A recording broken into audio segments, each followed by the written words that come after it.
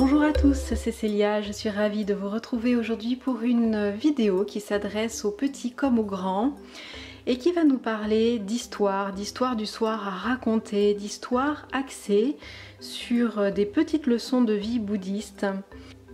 Voici donc le livre Histoire du soir, petites leçons de vie bouddhiste pour développer la compassion, l'altruisme et la générosité, écrit par Damachari Nagaraja qui est édité au courrier du livre édition jeunesse.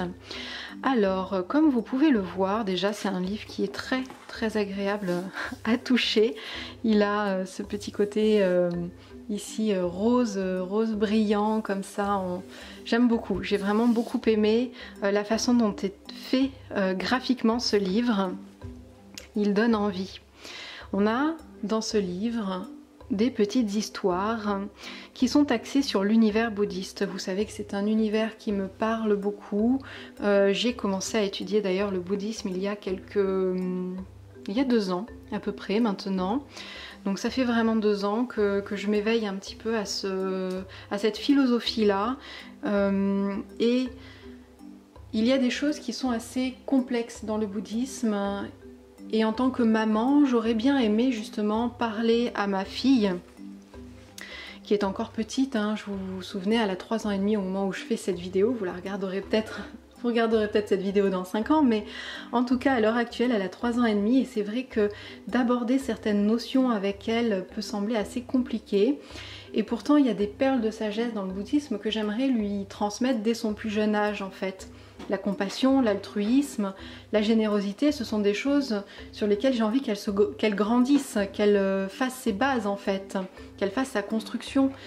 Et ce livre en fait m'a permis justement de pouvoir aborder à travers des histoires toutes ces notions-là sur lesquelles j'aimerais qu'elle grandisse, qu'elle s'épanouisse, la relation qu'elle a avec le monde, la relation qu'elle peut avoir avec les autres.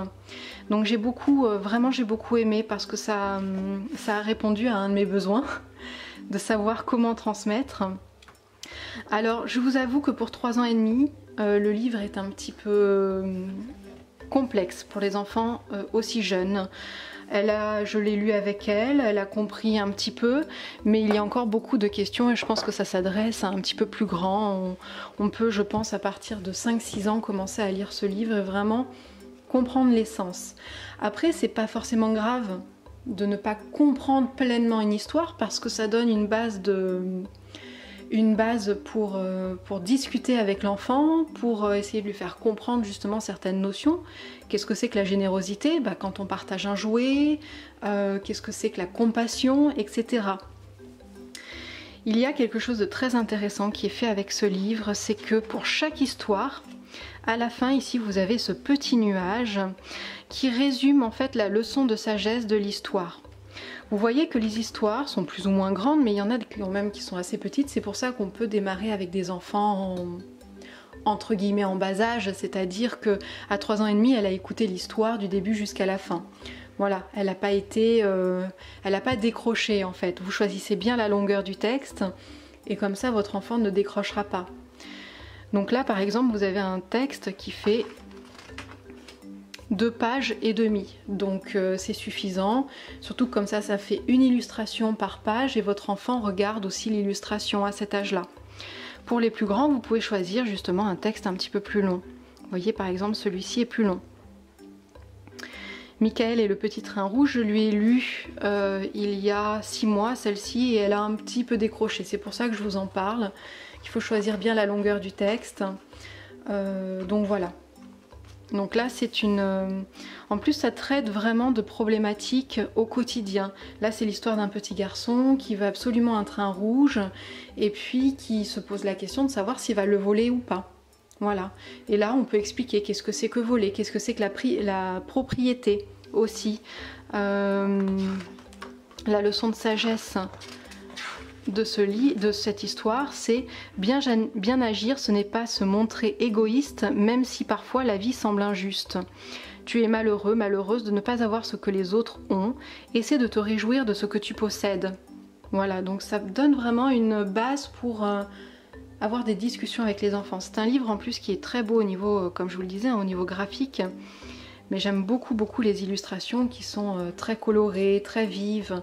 Ça donne envie vraiment à l'enfant euh, et à l'adulte hein, de le lire. Vous voyez? Elles sont euh, très très jolies. Voilà, donc c'est un livre que j'avais vraiment vraiment envie de vous partager. ça a été une tellement belle découverte pour moi que je me dis que peut-être aussi, ça peut l'être aussi pour vous avec vos petits pitchous. Voilà. Voilà, donc il y a une vingtaine d'histoires.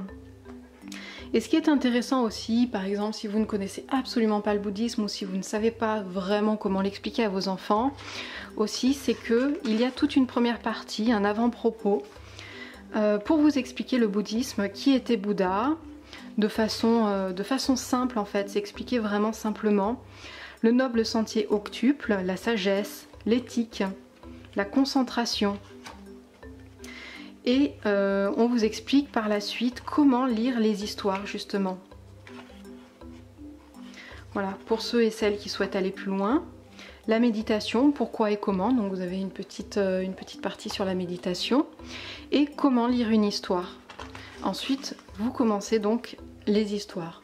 Voilà donc une très très belle découverte ce livre et je suis ravie de pouvoir vous le partager aujourd'hui. J'espère, si vous le connaissez, n'hésitez pas à me faire vos retours et j'espère en tout cas que ce sera une belle découverte pour vous comme ça l'a été pour moi. Je vous souhaite une belle journée et à très bientôt pour d'autres vidéos.